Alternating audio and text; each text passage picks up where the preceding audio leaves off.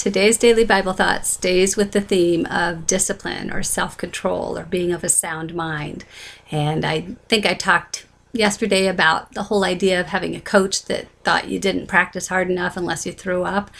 Well, I think about physical training and I think about diets and exercise programs and all of that. And I think, is there anybody who doesn't at least think about oh, I shouldn't eat that, or maybe I should walk a little bit. Like I, I have a Fitbit now, and Troy and I both kind of compete on the who had the most miles, and he thinks mine is registering incorrectly. And well, at any rate, I think we all think about those things, and our culture kind of pushes us that way because unfortunately it has a skewed view of reality. We're not all supposed to look like cookie cutters, you know, created us. God created us to be unique, but that's another day's Bible thought.